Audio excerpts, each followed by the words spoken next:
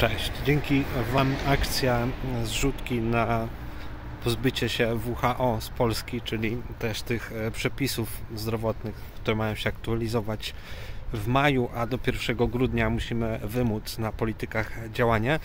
Więc akcja przygotowania, że tak powiem, ruchu oporu przeciwko temu informacyjnego przede wszystkim, ale też e, ludzkiego rozwija się dobrze. Startowaliśmy wczoraj i na ten moment mamy już 30 e, kilka procent celu finansowego zrealizowanego.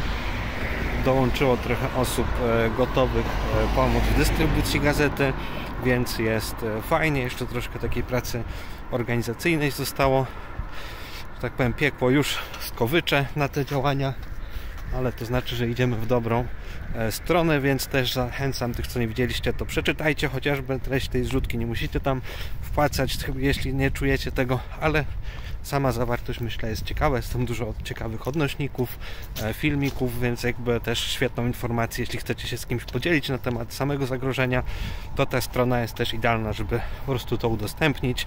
Są tam wlepki, no i też za chwilę będziemy już mieli gotową gazetę, więc też pojawi się PDF, bo to ma być taka gazeta w dwóch rzeczywistościach, cyfrowej e, i analogowej, ze zrozumiałych celów. Więc jesteśmy gdzieś już w jednej trzeciej drogi finansowej i organizacyjnie myślę, że już tak powyżej połowy drogi, więc mam nadzieję, że już tak do końca tego grudnia e, będzie o sprawie bardzo głośno, będzie wszystko jasne e, i też ci, którzy prowadzą konkretne takie formalne działania, będą mieli takie, że tak powiem, potężne wsparcie e, społeczne w tych działaniach. Także podajcie proszę dalej i do zobaczyska.